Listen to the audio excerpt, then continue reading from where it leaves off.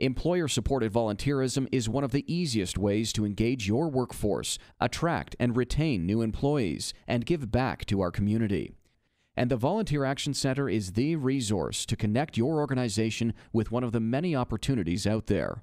Which one will work for you? Properly, there's so many things you can volunteer at. Uh, what the thing is important is to find the niche that you, that fits you and you know, you're in, in the case of a company, the people that work with you, uh, whether it's Habitat for Humanity building houses or it's uh, the soup kitchen.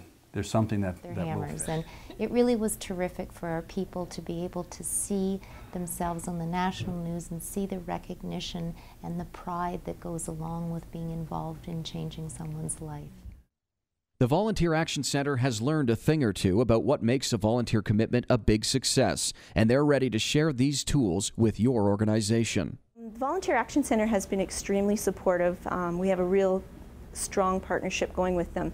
Um, not only do they provide advertising and whatnot so that we can make the connections with the corporations and individuals as well. But the training that they provide is, has just been top notch as well.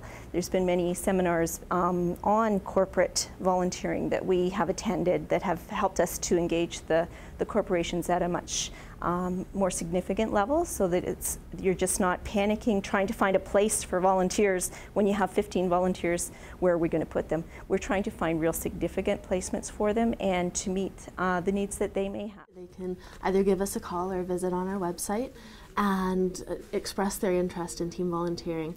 Uh, but bef even before that, talk with their team and discover sort of what their interests are, what their strengths are, what kind of a time commitment they have, because the better idea they have of what they can offer to the community, uh, we can bring that to community organizations and say, I've got a fantastic team from this business that would love to help out. I sat down with Diane and said, we really want to raise the bar and take this to the next level and can we collaborate on some ideas? And she was really terrific and instrumental in getting us to expand our volunteer day to volunteer days so that we could time it around when the organizations needed the, the legwork and the manpower.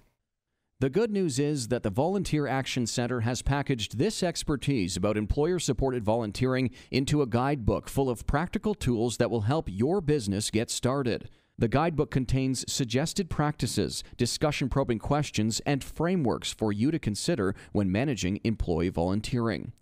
They will keep you informed about volunteer opportunities for your business and offer customized personal support along the way to meet your business's unique situation and objectives. The Volunteer Action Center is here to work in partnership with you to support your business's involvement in volunteering. They will help maximize your impact internally and on our community.